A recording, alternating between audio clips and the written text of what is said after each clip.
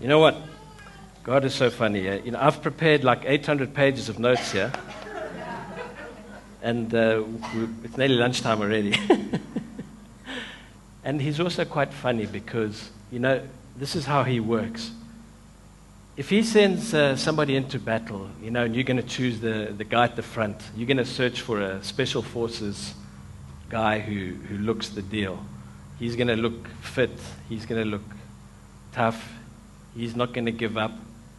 He's going to, you'll just tell by his jawbone that he's got that, that grit.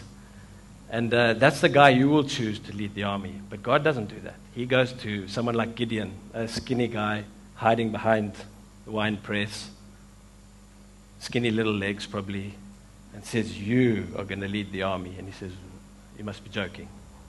And God says, Because I'm with you, you're going to do it. And he always chooses, um, you know, like he chose Moses and said, You're going to go and speak to Pharaoh. Moses said, I, I can't speak. I, I, I stammer. I'm not going to, I, can't speak. He said, I'll be with you. You're going to go. And Jeremiah, he says, You will go and speak my words. And he said, I'm a child. I can't speak. But God says, Don't say I'm a child. I'm with you. You will say everything I tell you to say. And I'm just saying that because I think he's funny because I know me. You don't know me, maybe like, well, of course, you don't know me like I know me, but I do not speak, and I have a phobia for public speaking. Uh, At school, I, I was a, a prefect, and we had to read from the Bible just every now and then. And I, I was absolutely terrified. I, and we could choose the passage, thankfully. And I didn't know God. I, did know Him, but I didn't walk, I didn't understand. So I thought, what's the smallest passage in the Bible? And somehow I found 3 John 16. For God so loved the world that he gave his only begotten Son, that whosoever should believe in him would not perish but have eternal life. And then sat down. I was, it was quite a good thing I said. and, and I spoke at weddings, and, and uh, the second time I was best man, I had to speak, and I, I, I went blank, and I thought, "Oh, I'm making such a fool of myself. And I've been in, in interviews where I was speaking to the guy, and I asked him a question. I said, and what about? And he was looking at me, and then suddenly I froze, and I, I forgot what I was going to say, and uh, I didn't get the job. and then he asked me to speak. So, God is funny. And you know, uh, everything that's happened today, is this working? Everything that's happened today is just is just a confirmation of the word that I had from God, which just pleases me so much. And, and I wanted to talk about God is love, and that without faith we can't please Him, and that uh, there was a word in in the pre, uh, uh, service prayer meeting that we wanted people to worship and to be touched by God and to cry and to be healed in the worship. And I wanted to try and explain some things, and then we'd worship, and I was going to say, now just go and be with God, but we've done it already. so, anyway, I want to uh, speak to you today. You know, there's a scripture in Psalm 42 7 that says, Deep calls to deep. And uh, I may not be deep, but I have someone living in me called the Holy Spirit who is deep. And so do you because you believe in Jesus.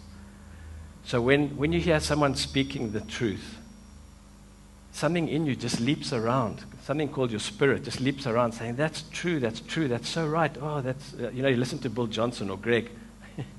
the same. and what they're saying, it just makes you so happy. And at the end, you say, what, what, was, what was the preaching about? You say, I don't know, but it was so good. And it was your spirit, your spirit responding to, to their spirit. And, and uh, what happens there? The scripture says in, uh, in, in 1 Corinthians chapter 2, verse 15 to 16, that, that we have the mind of Christ. At the end of it, it says we have the mind of Christ and that the Holy Spirit will teach you all things. So you know all things. And that's why when you, when you hear truth, you, you just respond to it. And uh, God is a spirit, and like we said, I said last time, uh, we've got to worship him, worship him in spirit and in truth. We can't contact him with our physical mind. We have to worship him in spirit. And uh, let's start then with that in mind. Basically, God is good. We hear that said, and it might annoy some people to say God is good. Somebody just died yesterday, and where's God good? But basically, to receive from God, you have to understand and know Him. And if you know Him, you will know that He is good. You know, He's a gentleman, He never forces anybody.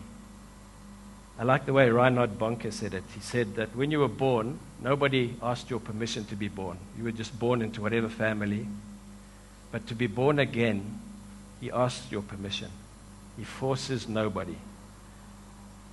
Um, and this is where God is all powerful, but because He is love, his, his will doesn't come to pass sometimes because you have a choice. The Bible says that God is love in, in 1 John 4, verse 8, that He is love. Not that he, he just loves, but He is love. And what is love? 1 Corinthians 13 is the love uh, chapter. It's one of my favorite chapters. Actually, when I look at the Bible, whatever I'm looking at might become my favorite chapter, you know. John 14, Jesus says, In my Father's house are many mansions. I go and prepare a place for you. And I'll come back for you and I'll take you there. That, that's just, I want to go now. Or Psalm 23, I love that. I want to lie on the green pasture next to the beautiful still waters with him. Psalm 27 is another one that I've hidden in my heart. The one thing I seek, Lord, and that is, is, is your face, to gaze at the beauty of it and inquire in your temple. But let's look at 1 Corinthians 13 from verse 4 onwards. I don't know if you can bring these up. So we know that God is love, and here it says, Love is patient, love is kind. Let's change love to God. This whole chapter is speaking about God and His character, the nature of God. God is patient. God is kind. He does not envy. He does not boast. He is not rude. He is not self seeking. He is not easily angered, and he keeps no record of wrongs. You know, we walk around in church sometimes as Christians, and we are so sin conscious. We're so conscious of everything we've done wrong that we can't receive from God. David, before Jesus had even come, had a revelation of God's grace. He didn't have God's grace yet, but he acquired it because he knew God was good. And he spoke about um, the blessed is the man to whom God does not impute sin. Love does not delight in evil. God does not delight in evil, but rejoices with the truth. He always protects. He always trusts. He always hopes, and he also always perseveres. So I say again, God is good. And his plans for you are very, very good. He's got very, very good plans for you. And uh, for you to step into your plans, you need to get a few miracles from Him. You know, we can know Him and live the blessed life, and life is good. But if you're going to follow into His plans, you're going to need miracles. So, you know, I could say, anyone need a miracle here? Anybody? we should all put up our hands because if we step into God's plan for us, the plan will be so big that you cannot do it on your own. You will need a miracle. And how do you get a miracle from God? Now, God is, is not willing that any should perish, and that everyone that calls on the name of the Lord will be saved. There's an example of His will does not always come to pass because He doesn't want anyone to perish, but some do perish because they don't choose Him. Because He, he is love, He will not force you. Love cannot force you to do anything. You know, the fear of God is the beginning of wisdom. Yes, we understand that. And the fear of God brings you there. It's like touching the stove, it burns you. Oh, I'm not going to do that again. The fear of God, we look and we see if we don't choose Him, that's the first thing we understand. Hell is waiting for us. No, we don't want that, so we go to God. But once we go to Him, we find out that He is so good, that He is love, that His plans are so good for us that we, we leave behind the fear of God. That was the beginning of wisdom. And we move over into love and, and take Him as a father. You know, the one thing about love is it cannot be forced, it has to be given freely. And uh, I remember when I was young, I think I was in love when I was like three, four years old, just listening to music. Because all these love songs and I used to think, oh, you know, I'd listen to like the Carpenters. I don't know if any of you know them. the songs were so sad. I was like sad. I thought, oh, I feel so sad. I feel like my girlfriend's left me. I haven't got a girlfriend. I feel like she's left me, and I'm so sad. And, and you know, um, there, there, was this poster that says, uh, if you love something, set it free. If it comes back to you, it was yours. If it doesn't come back to you, it never was yours. And I thought, oh, if my girlfriend doesn't come back to me, she was never mine anyway. Oh, it's so sad. And, but it's true, isn't it? now, God created you and me, and He set us into the world with free will. Because of Adam, we're all on the wrong side of, we're all on the sin side. But He set us with free will, and He wants us to choose Him in love. There's no forcing. Let's look at this in the natural. There's a young couple dating. Let's say the boy is madly in love with the girl, or vice versa, whichever way you know it as. The boy is madly in love with the girl. Who has the power in that relationship? The one in love or the one not in love? The one not in love will do this, and the other one will jump like a puppet on a string, will just do whatever because he's in love. Oh, he's in love. He'll say, Eat the whole apple because it's, you have to eat the whole apple because I told you to. And you say, I don't want to eat the apple. It pips taste horrible. You eat it if you love me. You eat it. like an idiot. Is this okay? And, and so we understand that. You see, love and power don't go together. If you love, you have no power. God wants you to work for Him, to choose Him because you, because you want to, not because you have to. Uh, I remember the Rocky movie. Uh, you know the boxing movie, Rocky. Rocky became uh, the champion, and now suddenly had money. And he was with his brother, Paulie. And they were poor guys, but now he was rich. And he bought Paulie, his brother, a nice, expensive watch. And then they were in the back of this alley having an argument. And Paulie said, Oh, you have your stupid watch back. You only bought it because you had to, you know, because I'm, I'm your wife's brother. And Rocky said, in his, his, his English. Said, no, I didn't do. I don't do because I have to. I do because I want to, you know. And I thought, uh, that's, that's a God thing. That's, that's exactly what God wants you to do it. He doesn't want you to do it because you have to do it. He doesn't want you putting money in this bag that goes around because you have to. It's wise to put in there because you, you position yourself in the, in the stream where he sees, ah, these people will give. I'm going to give more to them. So it's wise and it's almost selfish to put money in the bag. But don't put money in the bag because you are, are scared. Because anything that's done not in love profits you nothing. That, that's also from uh, that love chapter in 1 Corinthians uh, 13. Another example now, if, if you're driving along and the police officer is pointing the radar at you, oh, you've been caught speeding. He pulls you over. You pull over because you have to. He has power over you. If you don't listen to him, he could uh, put you in jail. He's going to give you a big fine.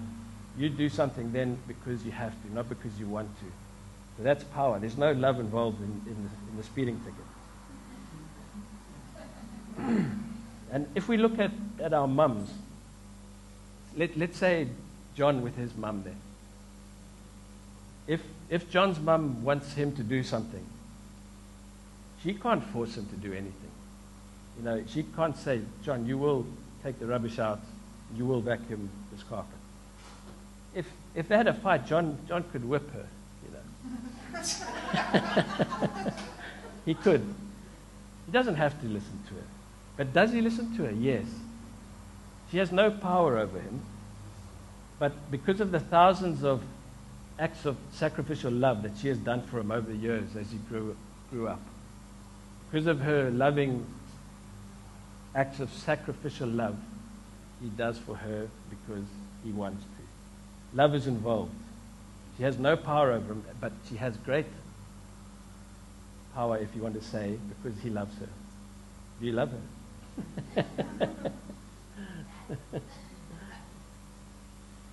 you we look at um, what's happened in, in uh, Libya now. Gaddafi's been killed. Proverbs 21 verse 28 says that love and faithfulness keep a king safe. And through love, his throne is made secure. God's kingdom is of love. If only leaders took this advice. You know, Gaddafi said, My people love me, my people love me. But if they say anything else, they get they go missing. And God's word is just true. He who lives by the sword dies by the sword. You know, it just the dictators should just look at history. The only thing they learn from history is that they learn nothing from history.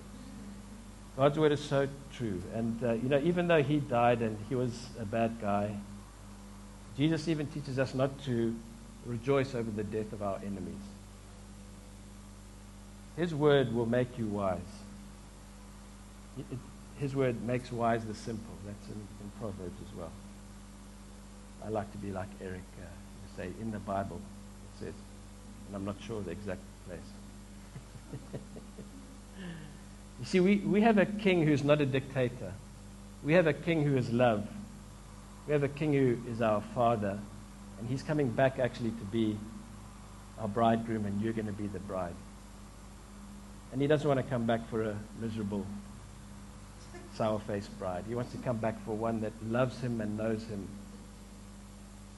So in Jesus, we find a revelation of one who gave up his power, came into our world to fix the problem of sin by becoming a loving sacrifice for us and making a way back to God for us. And he forces no one because he is love. He cannot force anyone. So, you know, God is all powerful. He can do anything, but he doesn't do everything. Jesus said, When I'm lifted up from the earth, I will draw all men to myself.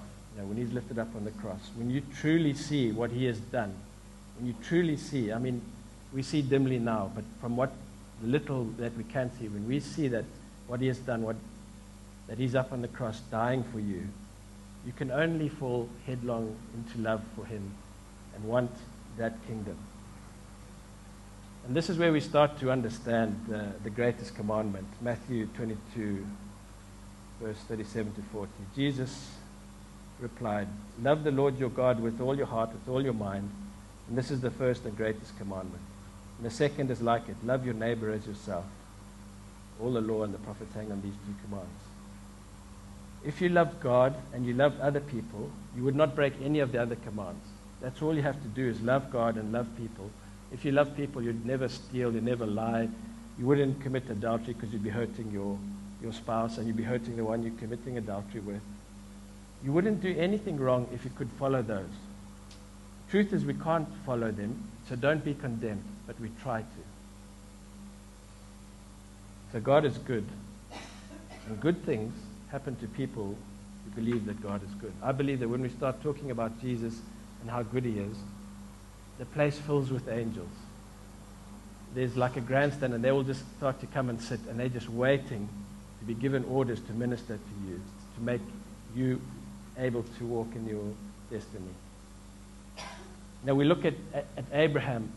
he was uh, he was I think it was about 400 and something years before the Ten Commandments came. He's just walking along in the desert, somewhere in the area of Iraq between the Tigris and the Euphrates rivers. God came to him and said, uh, Abraham, he had a relationship with God. And basically, what he said to him in Genesis 15, 16, 17, and 18 is that Abraham, I will bless you. I'll give you a son, and through you, all the offspring of my people will be born. And I'll be with you and I'll bless you. Abraham believed God, it says, and it was credited to him as righteousness. Believing that God is good, that he will bless you. Look how blessed Abraham was. You know, he was with Lot, his son in law, and they became too many in numbers, and they were quarreling over the, the animals, and they said, We need to separate. He went up on a hill, and he said to Lot, I'm going to go one way, you go the other way. Which side do you want? And one side was all lush and green, and the other side was desert. So Lot said, I'll take the green. Abraham said, Okay. And he took the, the desert because he knew God was with him. And the desert turns into an oasis for him because God is with him.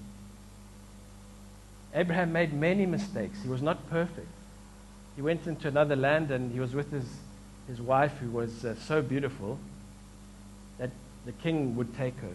That's what they did. They saw a nice girl, they'd take them, show them to the king, and he would take the best looking girl.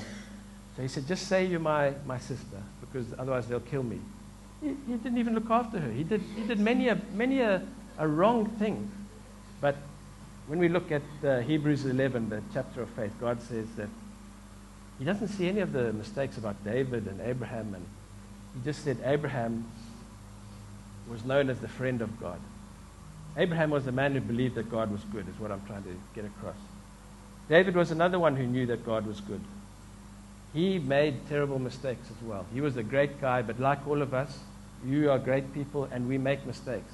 I can't believe I'm here talking because I'm not faithful. I fail regularly.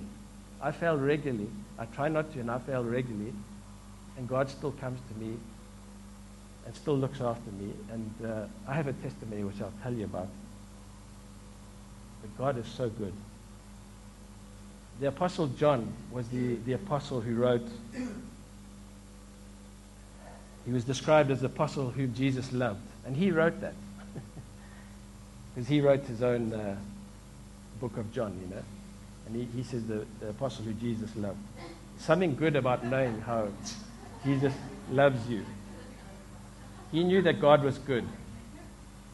And he had a he had he probably he did have the best life of the apostles. All the others got sawn in half and crucified upside down and John was the only one who died a natural death on the island of Patmos. And uh, he even survived being boiled. John knew that God was good. You have to know that God is good, that his plans for you are very good. But now there comes the thing. There are two things in Scripture, stated in Scripture, that God cannot do. Do you, do you know of two things God cannot do? Anyone? Lie. Yeah, he cannot lie. Well done, Smiley. He cannot be pleased without faith. Hebrews 11, verse 6 And without faith, it is impossible to please God. Because anyone who comes to him must believe that he exists and that he rewards those who earnestly seek him. There's rewards. It's not just a scraping through life. We'll get there at the end. You will be blessed beyond measure, and you will be a blessing to others. So, everything he says here in the Bible is true, and we must believe it. He has so many promises for us.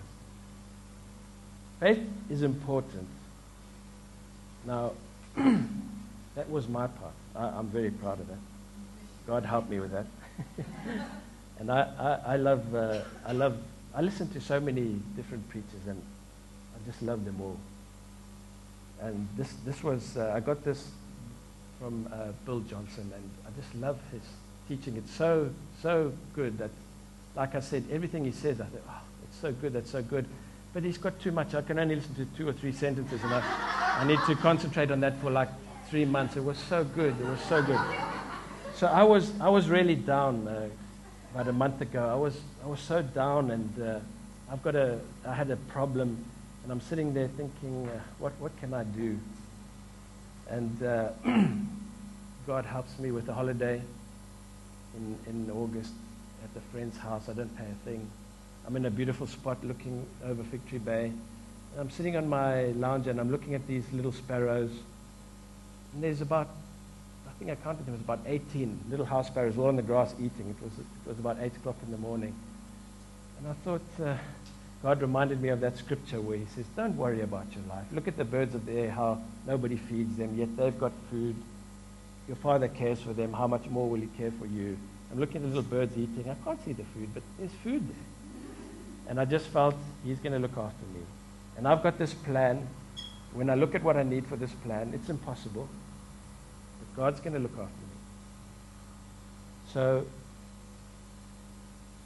the next thing that happens is somebody comes to me and, and offers me this great assistance.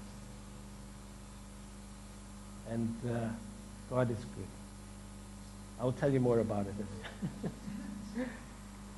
so, Bill, Bill was talking about this, but, but he's got the Holy Spirit in him, and he's just speaking what the Holy Spirit is saying. And you will hear it, and you will just understand it deep to deep, because the Holy Spirit lives in you. That faith is the currency of heaven. Faith is what pulls down from heaven all those resources that you need. If you don't believe, you won't receive. God's resources are not moved from heaven to earth because of human need. You know, uh, listen to this. Uh, Jesus was provided because the Father saw human need. He provided Jesus. He came himself to provide for our need. He sent his word and healed us. By his stripes we were healed. He made a, way back to heaven and we can start our eternal life now and live the good life from now if we draw on the resources of heaven. Because our Father in heaven has, owns the cattle on a thousand hills. He has so much resources, he can get you what you need. So, Jesus was the provision provided for the human need, and now it is faith in what was provided that moves the resource. It is no longer the human need. If human need was what, was what moved the resources from heaven, then the poorest places would be the, the richest places later. We look at India, and there's so many poor people, or Africa, or even in Cyprus, there's poor people. And you say, well, why doesn't, uh, doesn't God care about the poor people? Of course, He cares about the poor people. But He's provided Jesus. You have to choose Jesus, and He will pull you up. It seems unreasonable when someone comes along with a testimony, you know, like a Christian will come along. I heard of a guy going to prison, talking to the prisoners, and said, Oh, on the way here, I was driving my new car, and the other car in front picked up a stone and it chipped my windscreen, and it's a new car. And I stopped, and I put my hand on the windscreen, and I prayed God to fix this, and He fixed it. And the prisoners are looking at him like, God cares about windscreens. He doesn't care about us in jail and uh, people are dying and cares about windscreens. Well, this is a trivial matter, you know, the windscreen. But that person has a relationship with God. And he can draw on, on things from heaven where if you don't have a relationship with him, you can't draw on, on things from heaven you know, it, it's that thing where Jesus said uh, to the people at the end of time, they all came to him and he said, Away from me. And they said, What? Didn't we do many mighty things in your name? Matthew 7, verse 21 onwards. Didn't we do many things in your name? And he says, Away from me. I never knew you. We have to know him, don't we? And knowing him, if you know him, you know that he is love. So the, the resources of heaven are not released because people are sitting in their room depressed, complaining, nobody cares about me.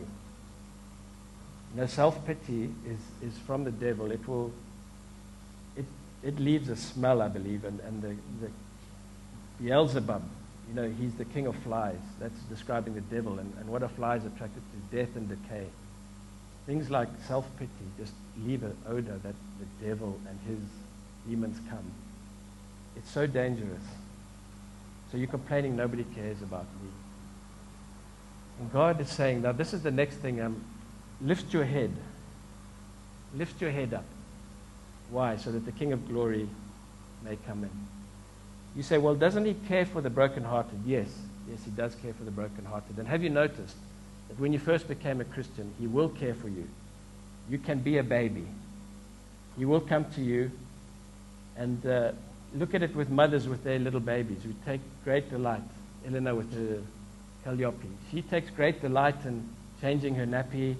Little baby's got a spoiled nappy. She doesn't want to leave it. She'll get a rash. She cries. Mummy comes quickly, changes the nappy, makes her comfortable. Oh, oh, oh.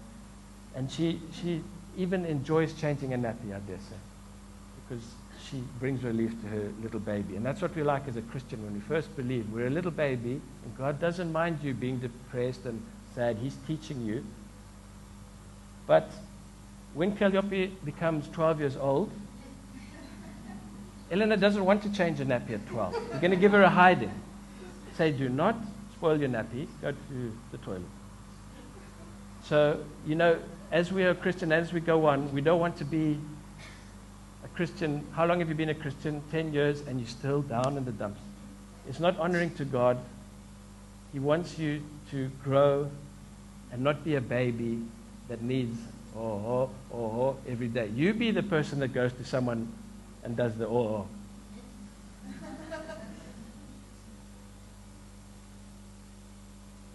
Okay, there's a scripture that says, Lift your eyes to the hills. From where does my help come? My help comes from the Lord, the maker of heaven and earth. So we're trying to help somebody here who's feeling down or depressed or struggling. It's in Psalm 24, verse 7 and 8, where it says, Lift up your heads, O your gates, and be lifted up, your ancient doors, that the King of glory may come in. So it's very easy to lift your head and praise God if you've just won the World Cup rugby, ah, You're so happy. You're so happy. It's very easy to thank God. If you just won the lottery, thank you, God. It's so easy to be grateful. It's very difficult to be grateful when you're down in the, in the problem. But that is the time when, when God can work the greatest. When everything is going wrong, that's the time to lift your head. Oh, you gates. Why? So that the King of glory can come in. Lift your head. If your head is down, you're attracting Beelzebub, the Lord of the Flies. And that's not good. So we get this part about lifting our heads. But let's look at the gates. God's talking about the gates there. What are the gates? Isaiah 60, verse 18 says, But you will call your walls salvation and your gates praise. You know, the, that which protect, protects you is your salvation. When you believed in God, you got the helmet of salvation. If you die, if you don't understand another thing, if you die, you're going to heaven. So that's good. You've got the ticket. But you have no victory in life. Just have salvation. But his, his gates are praise. That's why this praise this morning was very important. Praise is what opens the gate and lets God come in and rescue you. And Psalm 82, verse 2 says, the, love Lord, the Lord loves the gates of Zion more than all the other dwelling places of Israel. He talks about gates also in Revelation 21, verse 21, and he's describing the New Jerusalem. The New Jerusalem will come down from heaven and join with earth, and heaven will join with earth, and the earth will be as it should be, and it's going to be a beautiful place. And this Jerusalem is described. It has 12 gates. And the 12 gates, says, were 12 pearls, and each gate is made up of a single pearl. So, what is all this teaching us? We, we're talking about praise, gates, and pearls. We know about praise. Gates is the door that God can come in. We are the gates if we praise. We lift our heads. And the pearl, what is the pearl? Uh, well, how is a pearl formed? It's irritation, isn't it? An oyster gets a little bit of sand in it, and it's irritation, and it covers that piece of sand with a substance that over time it turns that irritation into a beautiful pearl of great price that people, you know, seek after. So by irritation, you see that the bad circumstance that you are facing will be turned into a testimony. So if you are down and miserable, you have a chance to lift your head, praise God, turn that miserable situation into a, a happy testimony. To take the opportunity of exalting Him in the middle of conflict, poverty, depression. When something happens to you that really hurts you, you stop and say, God, in the middle of this, I give you thanks. I don't care how it looks at the moment. Your love and kindness is new every morning. You are for me and not against me. You've already set the stage for me to be victorious. Let's praise him in the hard circumstance. So that, that, that was what I wanted to talk about. Was know that God is good. Know that God is love. He does not force anyone. You choose him out of love. Praise him in the bad circumstance. In fact, even if, if, if, you, if you're having a, a bad circumstance, you're in depression, it's an opportunity to make that pearl of great price. And I wanted to say now when we worship, don't worship with your head down. You know, people who are depressed, they'll come to worship and they'll be so sad. Lift your head so that the King of glory may come in. I think we still have a few songs. Do we? So thank you, Lord, for your word today. Thank you that you have taken church this morning and, and just done with it what you wanted, Lord. Thank you that you have sent our pastor and Philip and Chris and Paul, sorry, Paul and Eric. the other side of the world, they don't have to go there, Lord, but you are so good. And as I was saying earlier, that Greg cannot go to America but he can because you are with him. He didn't have the resources in the natural, but in the spiritual, he has resources. And he cannot live in that nice house he lives in, but because you are good, he does live in that nice house that he lives in, Lord. And he is an example to us, Lord, of someone who knows that God is good.